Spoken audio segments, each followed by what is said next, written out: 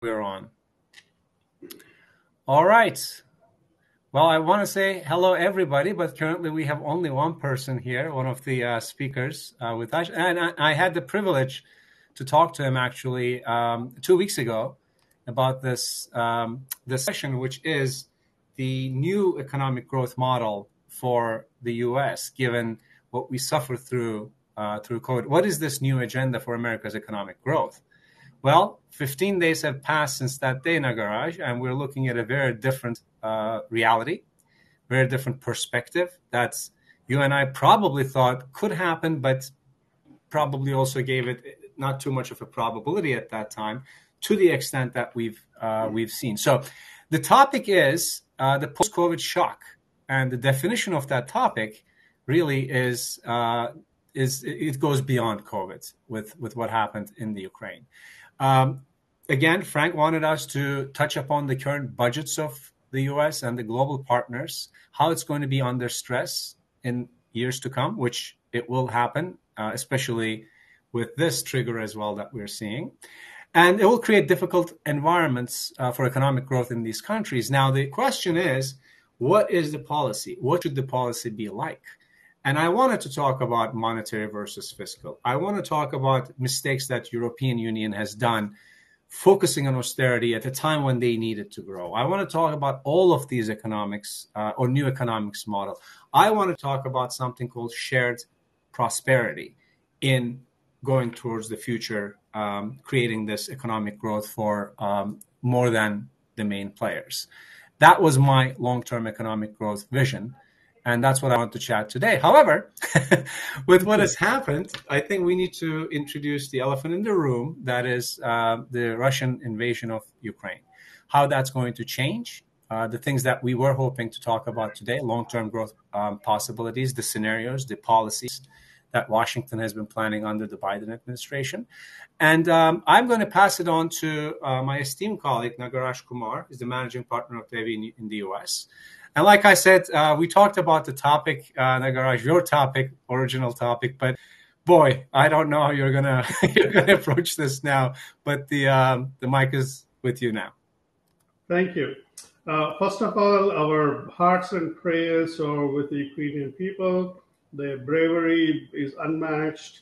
Uh, really, you know, command their the, the President Zelensky, how he's standing against the Russian innovation you know, the invades how, you know, it's heartfelt things. It's, it's, it's very sad what we are seeing.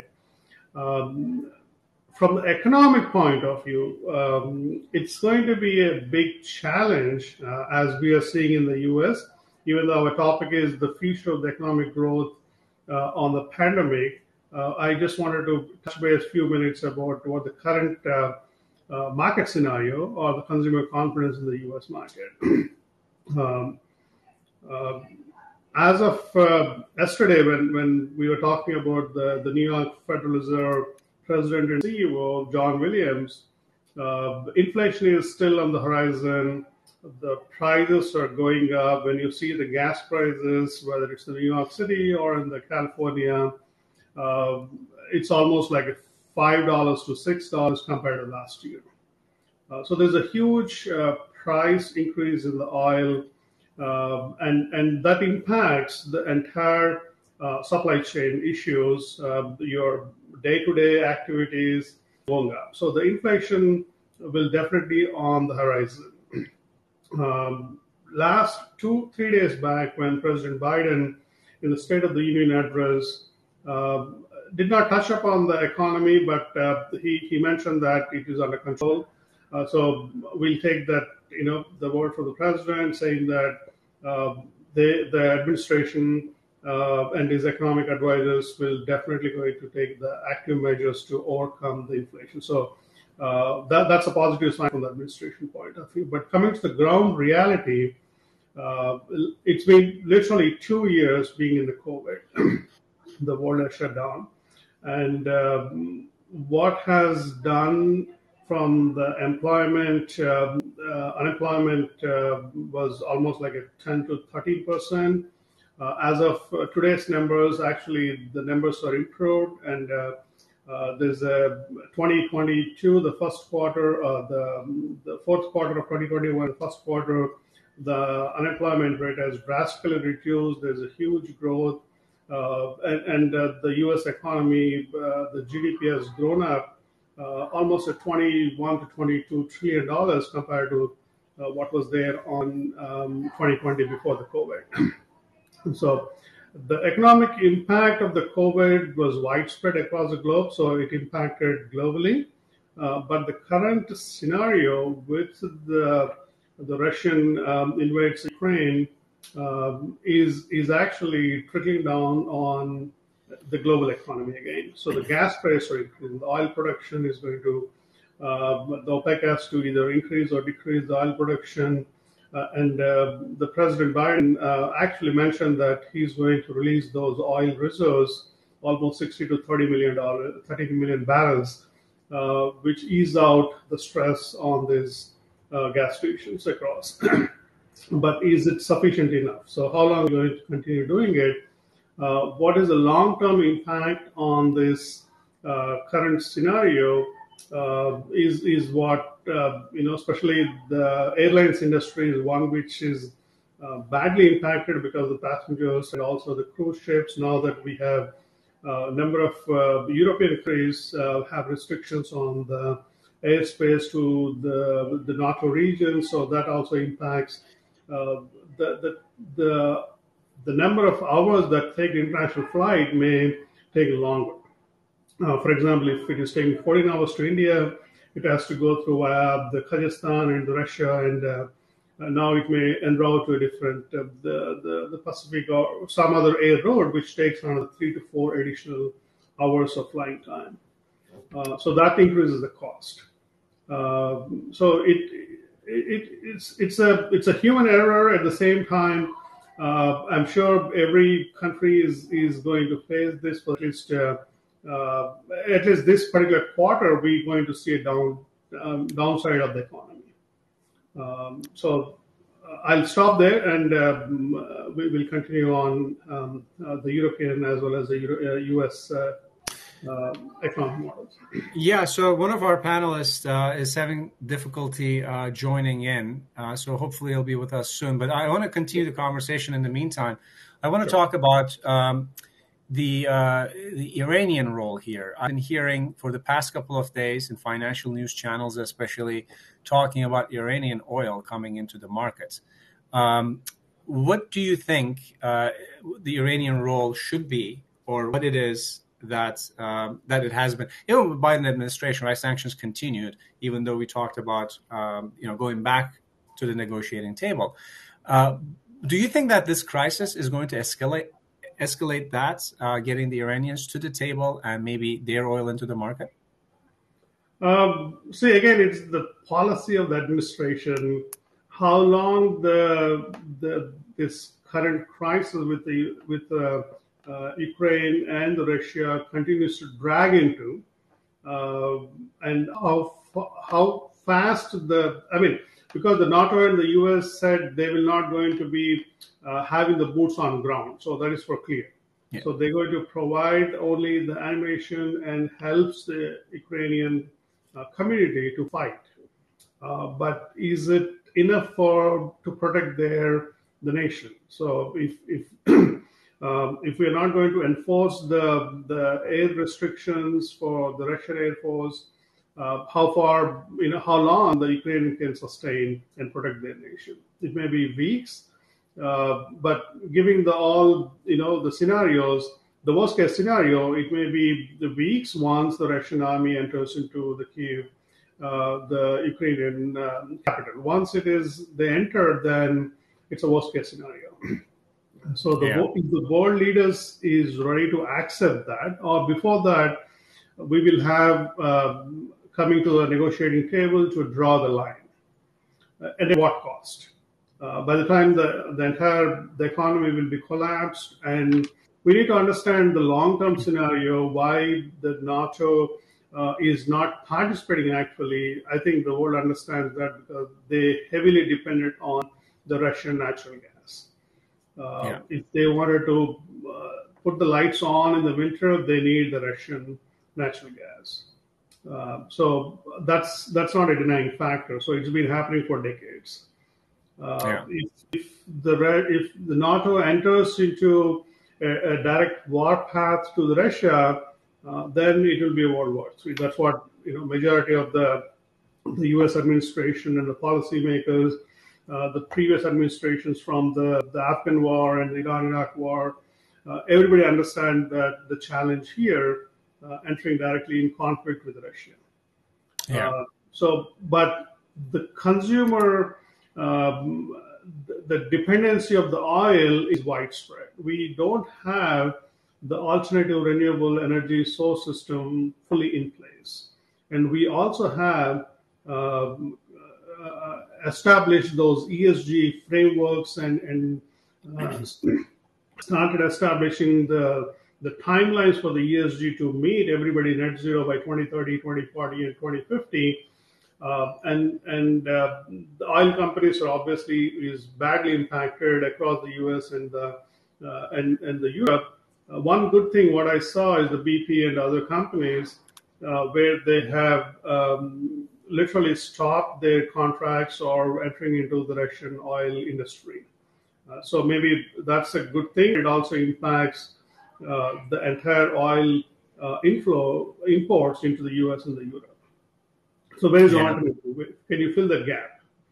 Uh, then we are looking for the OPEC to literally pump their more oil to meet the demand. Uh, will the OPEC is ready for that? Uh, yeah, that's another way, question, right? Yeah. So to meet the demand, uh, the OPEC countries has to uh, increase their productions, and the U.S. has to work with the OPEC countries, even though they may be not in a in a in a in a normal business communications, but maybe adversary countries. Uh, U.S. administration has to because you are closing one door, you can't have the luxury to close the other door too. Right. Uh, and let me ask you this. I mean, in, in our field, risk analysis, right? Uh, there's a famous saying where, you know, if those who claim that they have the crystal ball will right. someday be, uh, you know, condemned to eat shattered glass. But I'm going to go ahead and ask you uh, what you see, or, or, a couple of scenarios where you see the oil price uh, in the six month period to even in the long term, because we already have uh, inflation that we're we're concerned with, not only in the U.S., in Europe, all of these supply chain problems that we talked about. Now comes this this serious uh, trigger for inflation. So where do you where do you see oil going here? And I want to welcome uh, Peter Alvin too um, to the room uh, and Sandeep Narwani. Uh, thank you for coming in. We're having some connection problems, but um, we're having a very uh, very uh, what's the word liberal uh, way of doing this because we have only one panelist and one chair so please if you have any questions or comments that you'd like to to make we've been talking about obviously the elephant in the room the russian invasion of ukraine we're talking about inflation and how those two things are going to have an impact on the new economic growth model. With that being said, um, uh, Nagaraj, please take take uh, take yeah, over sure. with oil prices. Yeah. Yeah, welcome both of the other two panelists. Glad to be here. Uh, the oil, as of today, when you look at the U.S., uh, the barrel probably it hits $116. That's what I saw this morning in the news. Uh, and, and in fact, yesterday when the news was the the, U, the European largest uh, the, the atomic uh, the, the what do you call the energy supply. Uh, it comes from the the Ukrainian. Uh, it, was bombed by the Russians, but luckily it was missed. Uh, and otherwise, it would have been another catastrophe like a, it was in the Chernobyl. Uh, so, if if the worst case scenario, if if the U.S. if the Europe is depend upon uh, at least 10 to 15 percent of that nuclear um, energy supply, then if that that collapses, uh, then it would have been disastrous. Then probably the gas price might have been gone to 130, 140. Okay. But luckily, it did not happen. But as the if if we continue to have this uh, Ukrainian crisis escalates further and the Russia invasion into the Ukraine capital by next week, uh, the oil prices may go up to 140 to 150 dollars per gallon. And that is uh, cat- catastrophic for the inflation it, it, uh, projections. It will, and it will add up to you know the, the basic commodities, including your bread, your milk, your, your entire supply chain. Uh, and and what is what I, we saw just now in a few minutes back in the news in California, um, people are actually stealing the gas from the vehicle tanks, uh, putting holes to it. Uh, so how do you stop the crime like that? Yeah. Uh, so that see things escalates out of your control as you see the gas prices uh, go up to seven dollars to eight dollars. Uh, can we meet the demand? Because that's I think is going to be worst case scenario. Maybe we'll see ten dollars on the gas stations. Uh, that's uh, that is a disaster scenario, uh, and yes, I could also see that happening. Which, by the way, one of the one of the arguments that I'm hearing is because of that inflation. Sandy, by the way, if you have any comments, please just jump in um, uh, to the to the discussion. But what I'm seeing is uh, this inflationary period is going to have an impact on demand, and is going to uh, curtail it, and it is going to create a, um, a stagflation situation in the United States, which at a time when we were ready to get rid of COVID and just go out there, spend, and do all of those things to get the economy going is a is a terrible, terrible um, exogenous factor, really, uh, by this enhanced well, the inflation. thing is, we actually close, literally closing one door from pandemic to epidemic.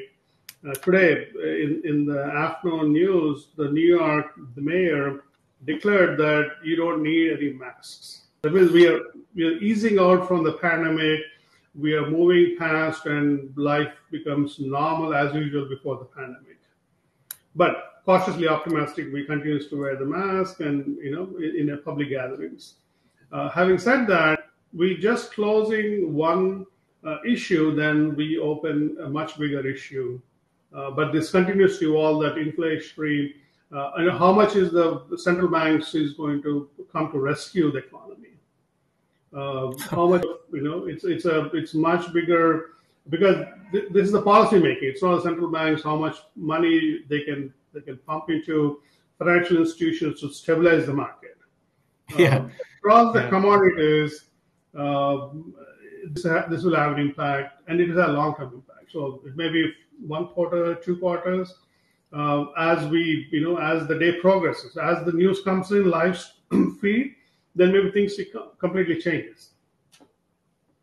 Well, let me. I mean, you made a great point about Federal Reserve here because, especially with the markets, right? Always remember, uh, reminded me of this baby analogy. You know, whenever the financial markets cried, Federal Reserve fed them.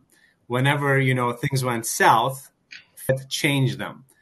And you know, the baby is is, is now what is a 13 year old boy girl and still asking for a pacifier from the Federal Reserve. However, I don't think they have the room anymore. Which, if the Ukraine uh, invasion had not happened, I was going to open with that as part of this new economic growth model. It cannot be solely monetary decision makers anymore.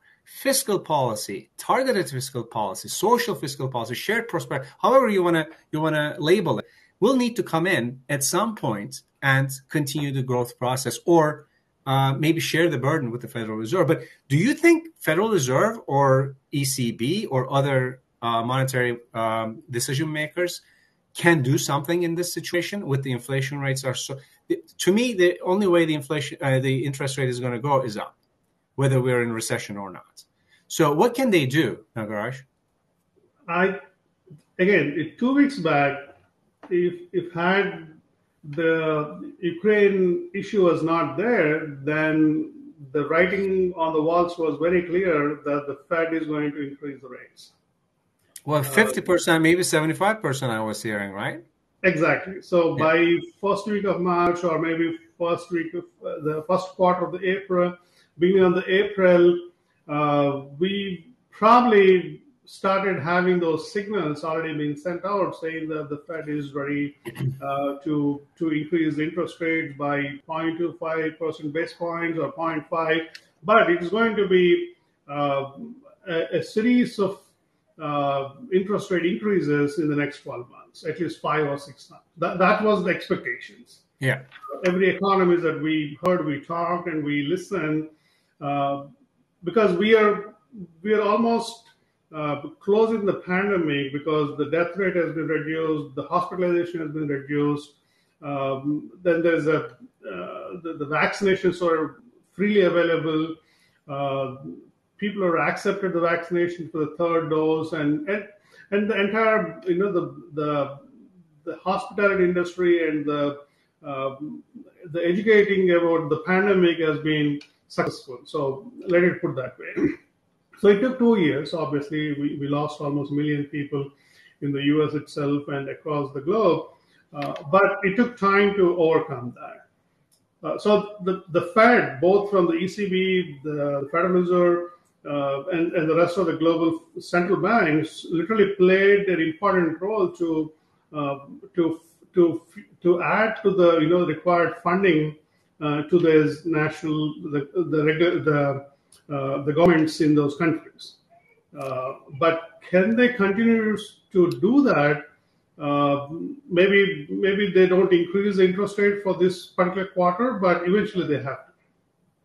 Well, they're already behind the curve, though, right? In terms of inflation, yes. how are they? How are they going to to avoid this this runaway inflation with what's happened? Forget about. I mean, two weeks ago, it was hard enough then Right now, with the oil prices in such uncertainty, the trajectory that is, um, it's a it's a fascinating story. I, I don't know how they're go- they're going to be sitting there and making these decisions. I would not want to be uh, in their shoes well, at this see, point. Nobody actually understands the clear scenario as of now. What, how much is the impact with Russia and Ukraine?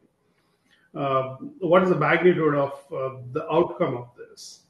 Uh, will it going to be overlap into the Europe or it just going to be stop in a day's time? But nobody anticipated or expected that Ukraine is going to fight back so strong.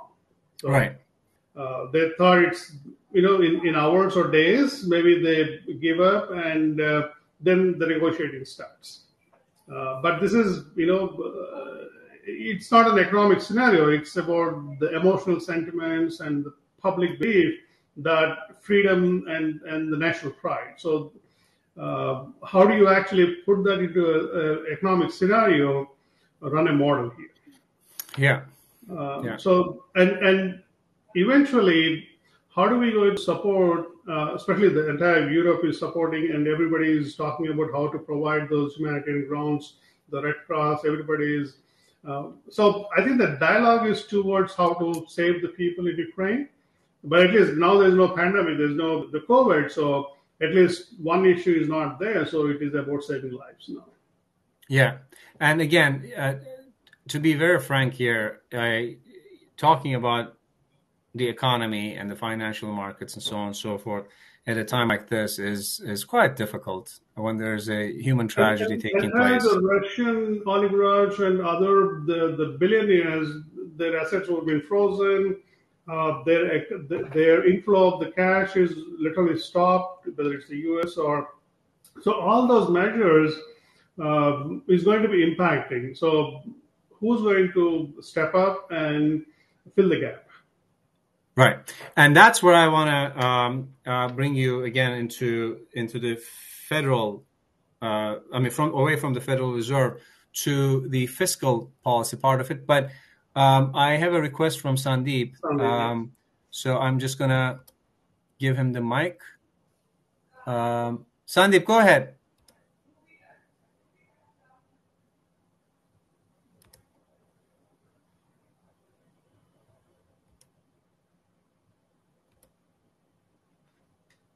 Can you take yeah, the mic? Yeah.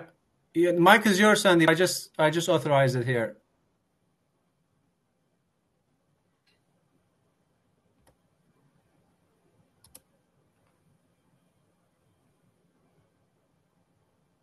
Yep, I got the green light, Sandeep. It's yours. Hi. There you go. Hi, I'm, I'm sorry, I'm, I'm disturbing the conversation's flow. No, no, no, uh, please. The more the merrier. So I, I, just had a small question regarding uh, the the gas supply chain. It's a very interesting one, and I was just trying to connect the dots. If uh, you know, way back in the 80s and the 90s, the gas interdependency was a big reason for, uh, you know, crisis not escalating beyond a certain level. But now a lot of that perhaps is changing. Uh, or, or, do you see that uh, gas will perhaps not play as critical a role in, in peacemaking as it did earlier? Uh, that's my limited question. Thank you. You you want to take, you want to take that? Uh, it's it's a very you know um, it's a very loaded question though. uh, how do we actually um, measure that? Right? It, it, I think the, the the oil embargo in the US, uh, the US took place in the 70s, if I'm not wrong. the first time, where people are lined up uh, in the gas stations and, and there's a, there's a chaos. That's what we saw in the news when we were kids, right? So uh, then in the 90s, 91, there's a Kuwait, um, the war, then that, that's where the gas price went up. Uh, out of control. And in the in the early 2000, uh, again there was a gas price gas price hike where I have seen um, where the gas the the gallon of gas almost went up six to six seven dollars, where most of the Hummers was being crashed out in the California because then that's where the, the Toyota Prius becomes the most uh, hot commodity or the property that every everybody wants to own it to showcase that they're environmental friendly kind of a thing. Uh, but today's scenario, it may be going to getting worse uh, because the demand is very high and uh, and and uh, because the COVID also, you know, the supply chain issues, um, I, I, would say the, the, the oil price will continues to raise, and that really impacts uh, the the overall economy globally, not just in the U.S. but also uh, the entire imports. And it, if anybody will stops the oil production, the ten percent from the the Russia. That's what the U.S. administration today said. We just only import 10% from Russia, so that's what we are not stopping it.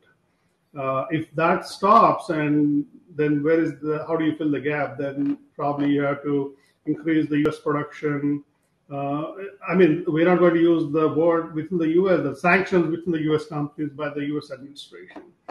Um, so they need to lift that. Maybe the Keystone uh, oil, oil, the Keystone project has to be a jumpstart so that there's a you know from Canada to the U.S. There's the multiple ways uh, the administration can jumpstart um, uh, to to improve the economy in the U.S.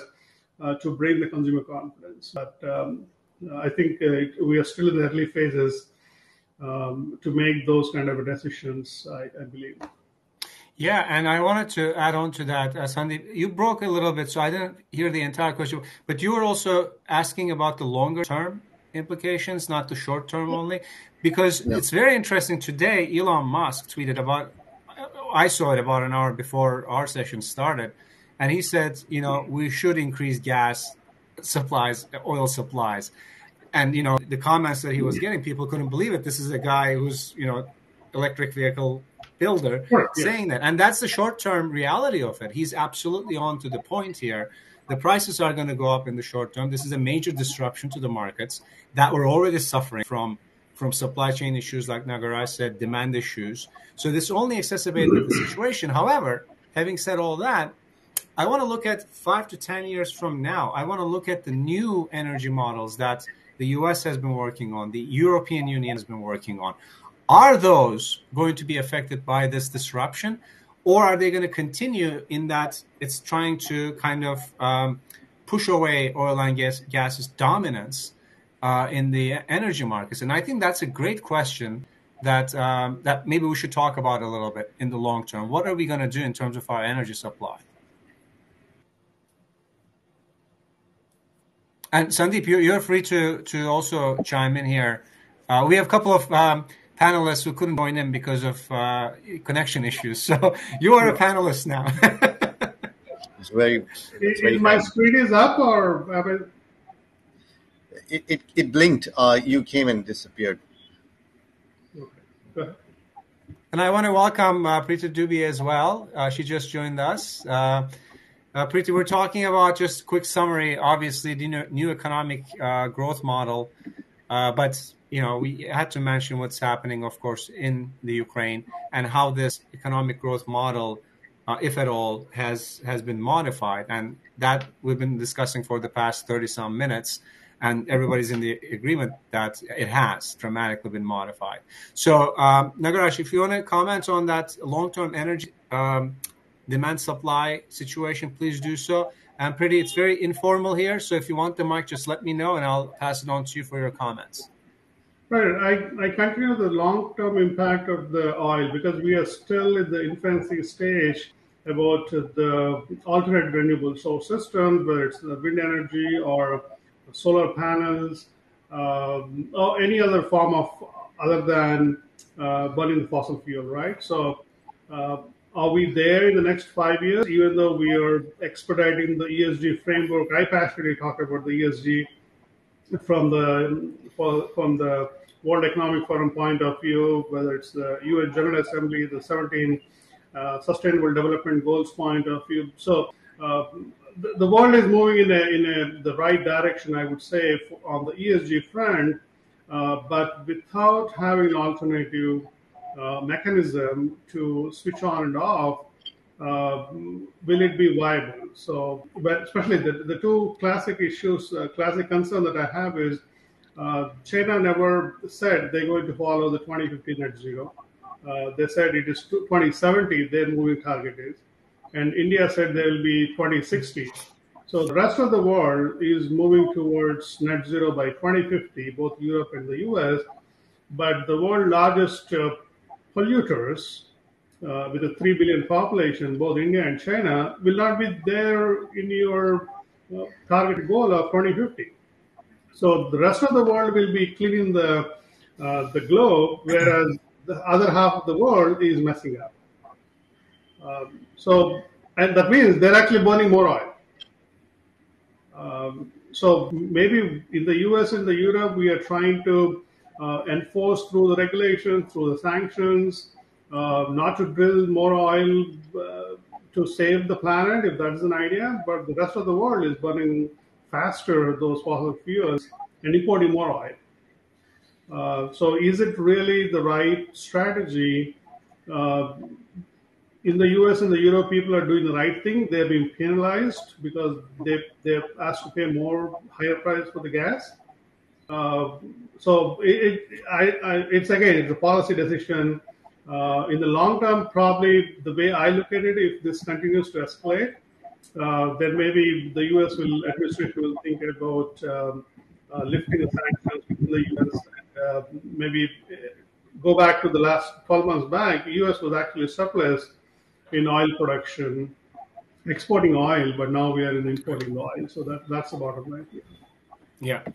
And I want to, um, with 10 minutes left or so in the panel, I want to bring the fiscal policy uh, component of this uh, onto the table because, again, this this new economic growth model um, is the, the, the talks about the policy uh, have divided country, divided Europe between the haves and have-nots. Right? That's um, with COVID, especially with Federal Reserve's um, support to the financial markets, there there's this huge gap between haves and the have-nots, and we're hearing all this argument, which is making more sense now than it did before COVID, um, that there has to be a shared prosper- prosperity for the sustenance of long-term economic growth, and that shared prosperity, in my opinion, at this point, cannot be done with monetary policy officials or just with monetary policy alone. So, as we look at this new economic growth model, uh, again, two weeks before, if we had this panel uh, before the invasion of, of the Ukraine, we would be talking about different elements of it, sure. But I want to bring this fiscal element onto the table. What is it that we need to do, the government status? Forget about monetary policy. forget about the central bank because we were talking before um, everybody joined that the only way is up for interest rates, whether we're going into recession or not. They cannot cut down interest rates. So we are um, kind of looking to fiscal policy to create that shared prosperity, quote unquote. How do we get there? What do you think? And it's open for everybody, really. I can I can try that because the, the fiscal policy, if you're looking at it, is the government how they tax their own people and to run the governments. And the second is the fiscal policy how to provide incentives to the private sectors to grow the business. Um, so it's it's a two aspect. So it's a it's a public and private partnership. Uh, it is working good in the US, maybe in the Europe, but if you look at a third world country, maybe it's a bigger challenge. Um, it, especially two examples. In the US, there are more number of taxpayers. So the government generates the huge IRS generates the huge tax collections, and uh, the government uh, invests on the R and D. Provide, especially classic is how they wanted to give like um, uh, free electric vehicles, EVs, subsidiary charging stations uh, to provide uh, so that the General Motors or Ford, all these car manufacturing companies can expedite their uh, manufacture the innovation to the EV, uh, not into the autonomous as of now, but the electric vehicle, so that they can easily chargeable, uh, providing a free service. So the government can can expedite that kind of innovation or spend that kind of money because they collected the, the taxes through um, through through through their their their population. But if you look at the India, probably one percent of the population pay the taxes, even though it's 1.130 uh, 130 million population. But how many people actually pay? The, the tax rate and the population, how much pay taxes is very less. Uh, Europe, maybe it's different. So that's why. So every country has their own fiscal policy measures to increase their tax savings, but at the same time, how much is that translated into providing those uh, research and development for innovation to the public sector? And um, that's that's what that's the that's the, the the part that I want to follow up with because again we were talking about it in the beginning. Um, the European model of this this really awkward obsession with solid numbers that to keep the fiscal deficit right to, to a certain level of GDP, and they were doing that when they were in recession. I, mean, I, I don't. If anything positive came out of COVID in terms of economic policy, finally they realized, well, these numbers actually need to be relaxed. Um, what, what do we do with that? Because there's going to be some spending too, right? Yes, taxes are possible, infrastructure spending. I mean, look how divided we're in this country. We cannot get a simple package in. And that's good for America, right? And it's good for Europe when they do this. What do we need to do to get that done? Because without that, I don't think we are going to be able to avoid a stagflation in this country and also in Europe as well. I, maybe I'm alone in this in this thinking, but I'm I'm quite worried about this. The fiscal policy needs to be more active, or assume a more active role, and uh, the policymakers need to understand that from both sides of the aisle.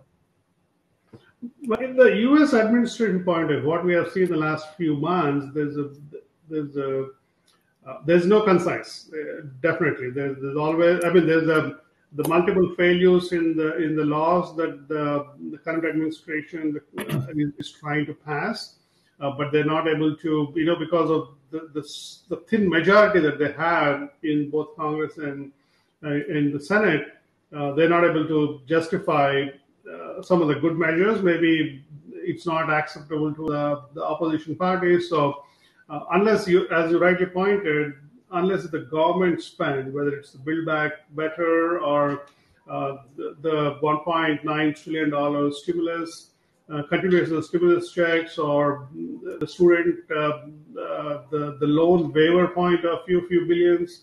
So there's the multiple measures that the administration would like to pass on, or the previous administration. There's a huge stress on the, the balance sheet from the Fed point of view, I believe, that that is challenging for the administration because you already have a deficit or almost a 20 trillion in the U.S. economy. Uh, so the, the deficit is so high that you cannot continue to be increasing the deficit uh, for providing incentives or, or benefits to the public um, for longer periods. All right. Yeah. Um, and we're wrapping up here. I'm looking at the time and I'm getting all these signals from the platform. They're, it's very adamant about time. Uh, you, you know that it's Frank's baby because Frank will always remind you, you, you know, keep the time uh, to the limit. Um, so I wanted to ask you, uh, first of all, I'd like to declare Sandeep a fellow panelist today. Thank you very much. With our two panelists not being able to connect due to connection issues. Uh, we have Conrad joining in at the tail end. Uh, I don't know if Conrad, you'd like to make any comments. We talked issues from Ukraine uh, invasion to uh, Conrad has left, so we don't need to worry about that. Any last Sandeep, words, though? Sandeep will have a last word on that. Yeah, yeah. Sandeep, yes, please. I had I had a question, in fact, for both of you, if I may just say. I'm sorry, I'm interrupting again, and that's about uh, taking the liberty of the title of the panel, and I want to ask about modern monetary theory. Uh, where do you see that coming in in a stage uh, where we are trying to balance a fiscal deficit. And if you, if you want to touch upon, I just wanted to make a very brief comment on it. We we've actually studied at BERI, uh, my company, at those risk analysis, and uh, there are in in our findings there are situations where modern economic theory can be injected into the economy and uh, have monetary policy give that role that we've been talking about right they're running out this role now uh, with interest rates so low. However, given the situation like this, where we're seeing possible runaway inflation, possible supply, not possible anymore, I'm sorry, supply chain disruption, serious supply chain disruption, all kind of structural problems. Uh, I'm not sure if, if this is going to be an answer to uh, to the new growth model. But I, I appreciate the question. And Nagaraj, I want to give you uh, some time to answer this too, because this is something that I wanted to talk about in this panel a little longer. Yeah, see, when I look at the US deficit as of today, it's almost touching 20 trillion. And that's as almost as equivalent to as the annual GDP of the US. So that means you're literally writing off the deficit into one year of your GDP. Uh, a few years back, it was 2 trillion or 3 trillion. People, you know, the economists literally uh, make a huge uh, outcry because the US never used to be like this. We always used to be the surplus. Uh, but having the deficit almost $20 trillion, how much the modern economic policy continues to talk about uh, providing incentives to the, their, their, their population. For example, um, the COVID is a classic example where every US, uh, the people who are unemployed was given, uh, I would say, free checks or checks mailed to them uh, for almost 18 months, let's say, uh, or a family of two. Uh, now the situation, the government actually making them giving more money rather than what they actually earn during their employment. Um, they're actually, if, if a family of two with two kids, they were making almost five thousand six thousand dollars plus.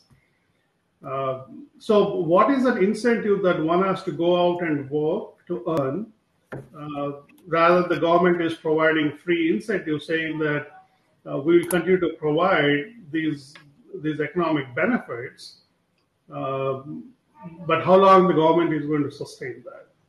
Where do they going to generate uh, through the taxes. So the, the, the administration is saying that over and above, if you're earning four hundred thousand dollars, we're going to increase your taxes. Uh, we have seen the New York and, and California where, where the companies and the people are migrating to different states because the taxes are high. Uh, and it's very unfortunate because uh, the the you are penalizing to the, the consumers who are paying taxes and you're trying to squeeze more to them because they're law-abiding citizens paying taxes. Then you're asking them, no, no, not 40%, you have to pay 45%. And you're giving that money to, to the people who are not working at all, just staying at home. Uh, but, you know, it, it you, we can talk about different ways how you do that because of the pandemic. But uh, will the government continues to provide that kind of incentive based policies that impacts and increases your deficit for long term uh, where it is it's not controllable yeah and i i, I want to say that too. I, whether this it's a completely different panel discussion i think whether this needed was needed uh, to be done or not. And i'm on the side that it needed to be done nagaraj because of the economic difficulties. But when it needed to stop and I think the point that you're making, uh, which, which is what I what I try to convey as well to Sandeep with, with this great question about uh, new monetary theory, is that we're not there to start this new monetary theory because of this fiscal deficit that has uh, ballooned immensely uh, because of COVID as well. But it's an idea I think that needs more research, and I think it's an idea that can work in the right economic fundamentals.